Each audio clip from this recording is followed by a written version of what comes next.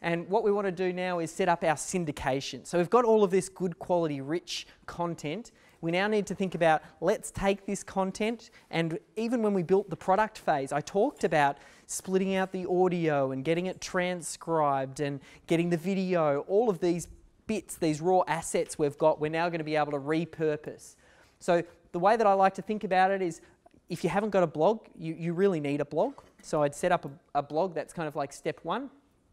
Uh, then for your social media, um, you want to look at uh, Facebook, Twitter, Google, Plus, LinkedIn, maybe LinkedIn. It kind of depends on your niche. I'd say you really want to be operating in at least three social spaces. So if you haven't uh, yet sort of set up some social platforms, just pick out the ones that make most sense for your business. So let's put social up the side here. So we've got uh, Twitter, Facebook, um, potentially G+. Uh, there might be some other ones as well, Pinterest, LinkedIn, Instagram. For, for certain industries, things like Instagram and Pinterest is really good uh, as well for in e-commerce business, particularly uh, things where it's very visual. Um, there's a lot of people and, and there's a lot of commercial sort of intent behind searches on Pinterest. But just pick out the ones that make most sense. Not everyone is going to make sense for you, and you can scribble down them in your book. Just think about where's your market, and you want to be there with the right message tailored to that particular platform. And then YouTube, you know how I feel about YouTube, love YouTube.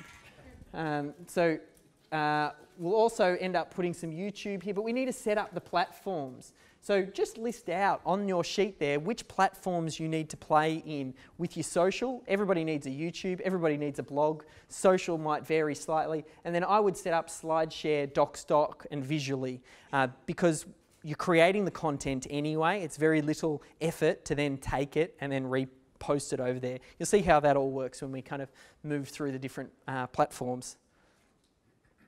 So then what you want to do is you want to make all of your uh, social platforms, or really all, any of these profiles, like we talked about all of the different platforms that we'll be looking at, you know, Visual, uh, LY, um, and uh, Pinterest and Instagram and some of these ones, and just make them look really good. So fill out all of the relevant content you can. If there's the opportunity to link back to your website, link back to your website. If there's opportunity to link to other social accounts, link to other social accounts.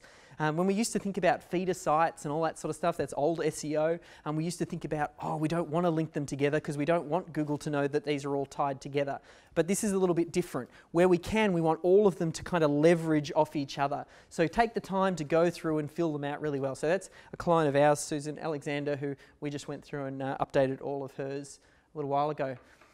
So the ground rules for these is no matter what platform we're working on, any of those platforms that I talked about right at the start, the aim of the game for those platforms is to lead them back to your site. Again, I talked about this idea of the breadcrumbs lead, leading you back to the cake. I don't know if you remember that. Um, so, really, these platforms, it's almost like breadcrumbs all over the, the web, and we want to make sure that we're always leading them back to us. So when I create a video and I upload it to YouTube, I finish with a strong call to action and I have a link inside my description. Because the aim of the game is I don't want them playing on YouTube, I want them playing on my website. I'll give them relevant content, but I want to make it easy for them to get back to me.